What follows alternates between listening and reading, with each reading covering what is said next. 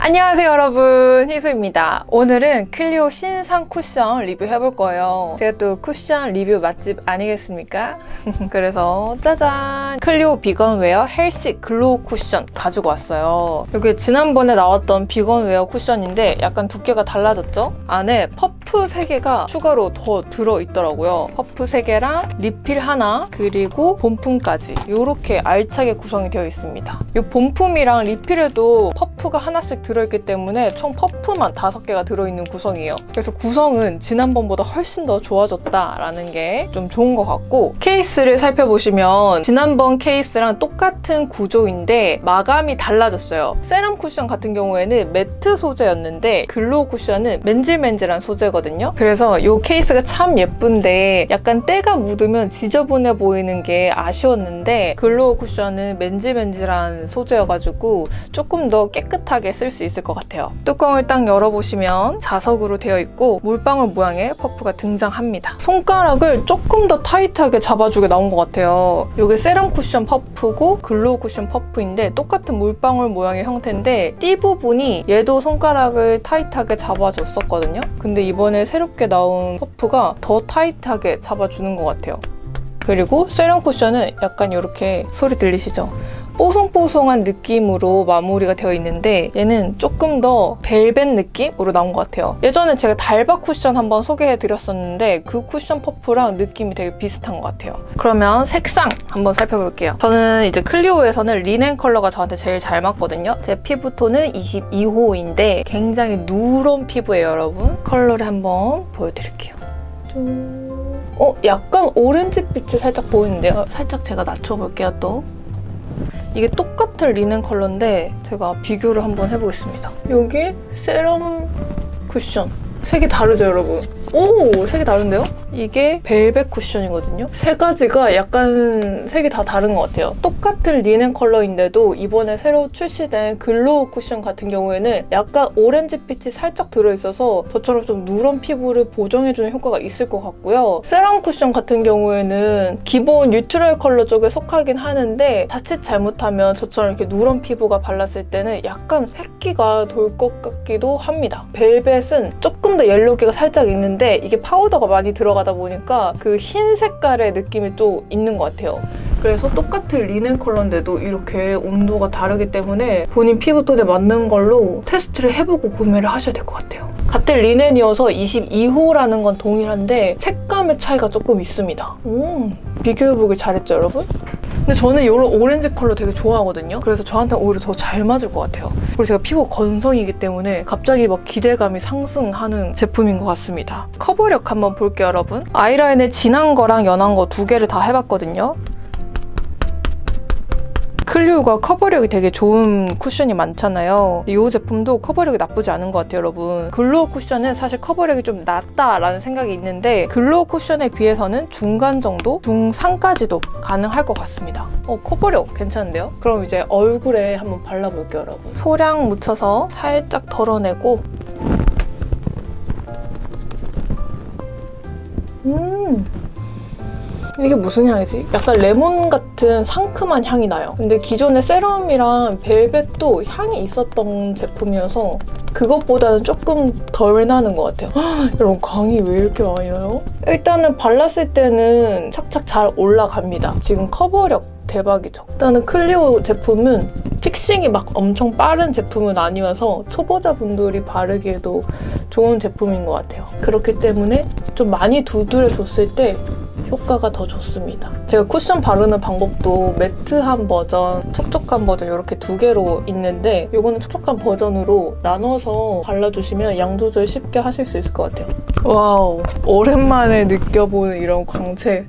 진정 쿠션보다 훨씬 더 광채가 더 많이 나는 제품인 것 같아요. 대박. 근데 커버력도 너무 좋고 맨질맨질한 느낌 좋아하시는 분들은 진짜 좋아하시겠다.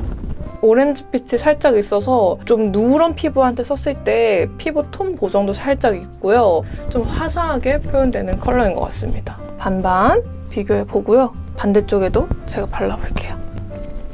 여러분 제 얼굴에서 미끄러질 것 같아요 지금 이런 광채가 웬 말이야 보이세요?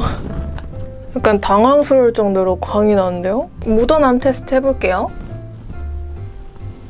끈적한데요. 많이 묻어나오네요. 상중하 중에 상입니다. 찍힘이 굉장히 심하네요. 자국도 심하게 찍히기 때문에 마스크 묻어남도 상당히 있을 것 같은데요. 저 갑자기 기운 빠진 거 느껴지시죠? 반쪽은 제가 파우더를 해볼게요. 그래서 약간 비교를 해보면 훨씬 더 좋을 것 같습니다. Fee Unnamed D 파우더를 살짝 써줄게요. 제가 클리오를 진짜 좋아하는 브랜드인데 클리오 섀도우, 클리오 마스카라, 클리오 립 다 좋아하거든요. 정말 좋아하거든요. 근데 베이스 제품이 저랑 좀 안 맞아요. 아쉽다. 이렇게 한쪽은 지금 파우더 처리했거든요. 가볍게 파우더 처리했습니다. 그러면 저는 열심히 또 테스트하고 오도록 하겠습니다. 이따 만나요. 자, 지금 6시 47분이거든요. 마스크 벗어볼게요, 여러분. 어떤 느낌인지 아시겠죠, 여러분? 제 얼굴 지금 땀나는 거 보이시나요? 제가 여러분들께 진짜 사실적으로 보여드리고 싶어가지고 진짜 더운데도 불구하고 에어컨 밑에서만 있지 않고 밖에도 왔다 갔다 했거든요? 어떻게 무너졌는지 자세히 보여드릴게요.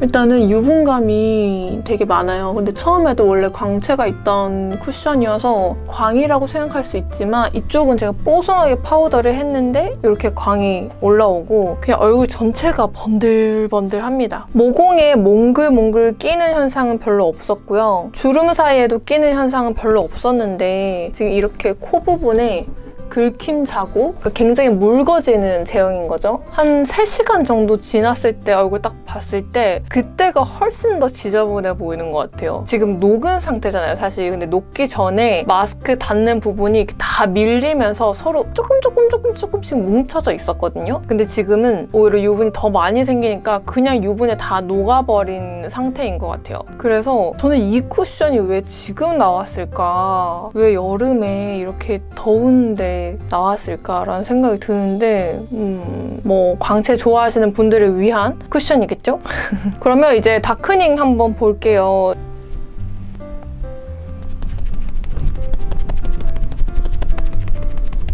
이렇게 톤 차이 보이시죠? darkening은 살짝 있는 편이에요. 그냥 자연스러워지는 느낌? 그냥 본인 피부톤 그대로 돌아오는 느낌이에요. 저 너무 사실적으로 리뷰하나요, 여러분? 클리오 제가 싫어하지 않아요, 여러분? 지금 제 옆에 클리오 펜슬 지금 오늘 한 통 다 써가지고 또 새 거 꺼냈거든요. 그렇게 쟁여놓고 쓰는 게 클리오 템인데 베이스가 저랑 안 맞는 것 같습니다. 제 기준 베이스가 가장 중요한 게 지속력이기 때문에 조금 아쉬울 뿐이다. 너무 리얼한 피드백을 남긴 것 같아서 괜히 마음이 불편하네요, 여러분. 여기 수정 화장 위에 부분에도 한번 올려보긴 할게요. 근데 제가 여러분 그 수정 화장 꿀팁 영상 올렸잖아요. 글로우한 제품들은 특히 먼지나 땀이랑 잘 뒤섞이기 때문에 한번 싹 지우고 해주시는 거 진짜 추천해 드릴게요. 올라가는 건 잘 올라갑니다. glow한 제품이기 때문에 서로 뭉치거나 뭐 뜯겨 나감 이런 건 하나도 없고요. 잘 쌓이는 제품이에요. 광채 좋아하시는 분들께 추천해 드리고요. 자 오늘도 이렇게 신상 쿠션 리뷰를 해봤는데요. 제가 진짜 제 마음에 쏙 드는 쿠션 만났을 때 제 텐션이랑 약간 이렇게 아쉬울 때 제 텐션이 차이가 너무 많이 나서 브랜드 측에 너무 죄송한 마음이 드는 것 같아요 여러분. 그래도 솔직한 리뷰를 해드리는 게 어, 저의 또 일이기 때문에 오늘 영상도 여러분들께 도움이 되셨다면 구독과 좋아요, 알림 설정 부탁드리고 댓글도 많이 많이 남겨주세요 여러분. 그럼 저는 다음 영상에서 인사드리겠습니다. 안녕!